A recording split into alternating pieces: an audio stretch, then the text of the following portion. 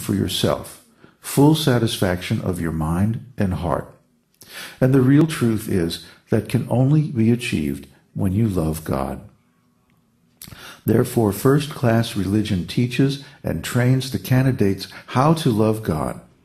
That is first class religion. Savai pungsang paro dharmo yato bhaktihi. The supreme occupation, or dharma, for all humanity is that by which men can attain to loving devotional service unto the transcendent Lord. Srimad Bhagavatam 126. The great sages who originated every great religion know that this perfect spiritual love is the supreme dharma, the ultimate satisfaction for the mind and heart. That perfect love does not have any motive.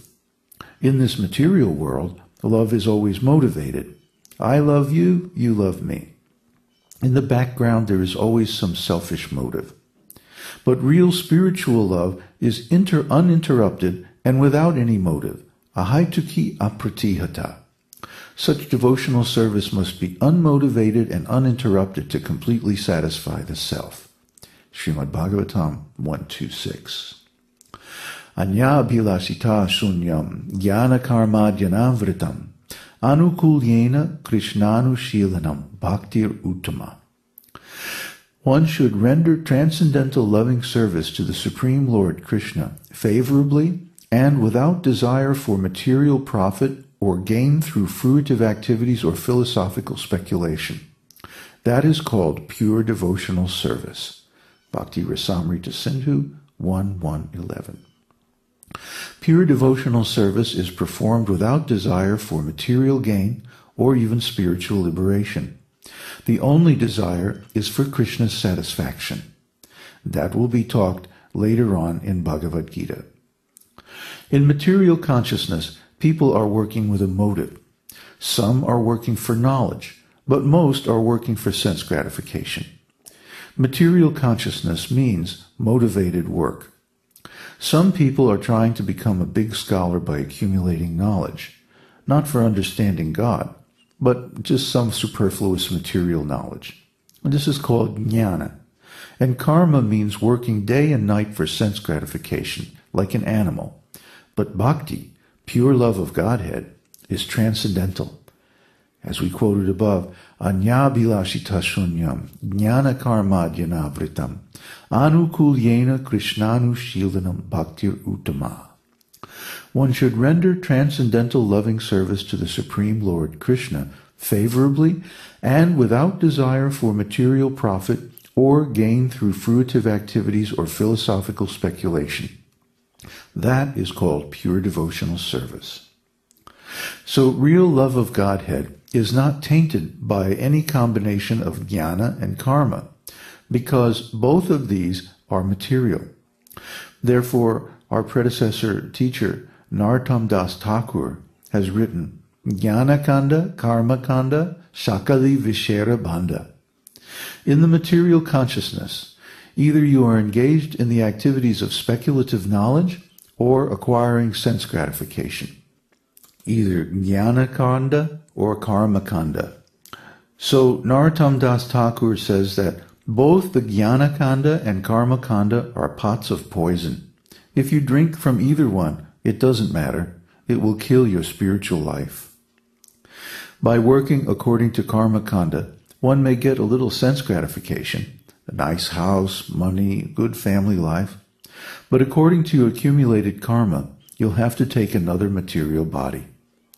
By working according to Jnanakanda, you may get a nice body in a Brahmana family, a very educated family, or a rich family. But you'll still have to go through the transmigration of the soul, repetition of birth and death in the material world. And there is a great risk because you do not know what kind of body you're going to get in the next life. There's no guarantee because the laws of karma and rebirth are very complex. Sri Bhagavan Uvacha Karmana Daiva Netrena Jantur Deho Papatatye Striya Pravista Udaram Pumsoreta Kanashraya.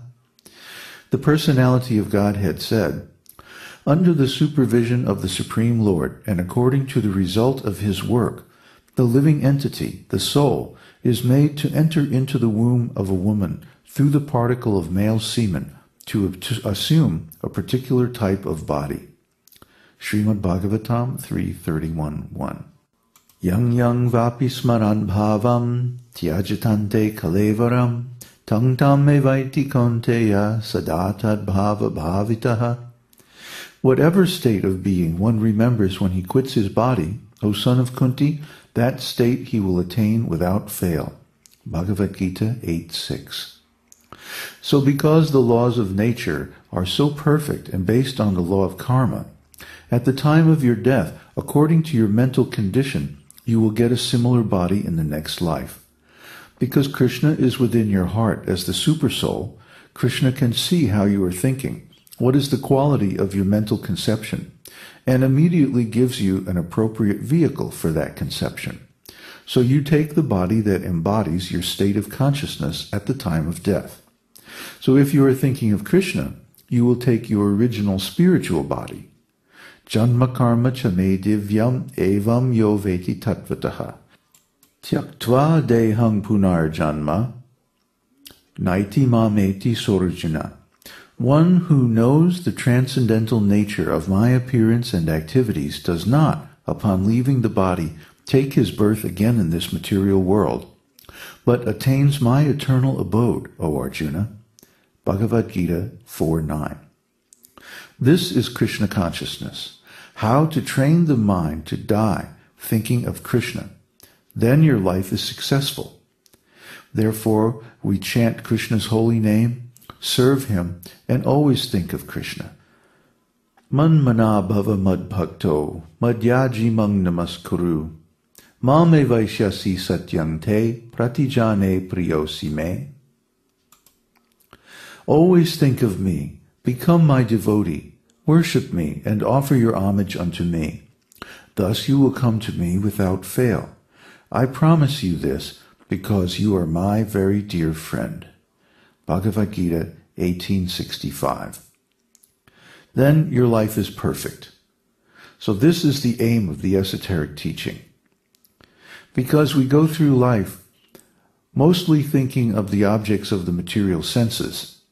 Therefore, at the time of death, when the mind is unrolled, all these impressions of material sense objects come out and pass before one's consciousness and uh, this is called uh, seeing one's life before one's eyes in a flash at the time of death. And this is a fact. Anyone who has near death experience can tell you. The experiences of the whole life flash before your mind's eye in just a few seconds. And it's hard to imagine how this is possible, but that's what occurs. Therefore, what are we going to remember at the time of death? We're going to remember the activities of our whole life. So if we spend our whole life simply in material consciousness, thinking of material sense objects, that's what we're going to remember at the time of death.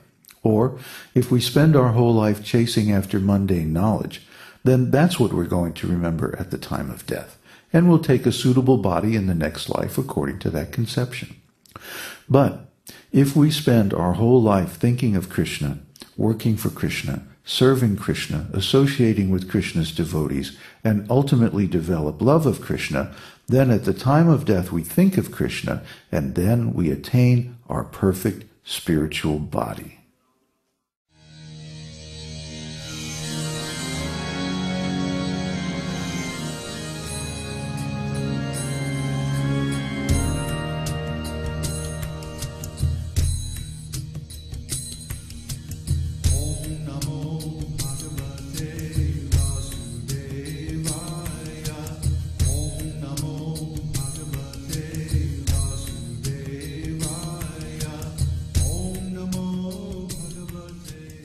We hope you've enjoyed this edition of My Perfect Body.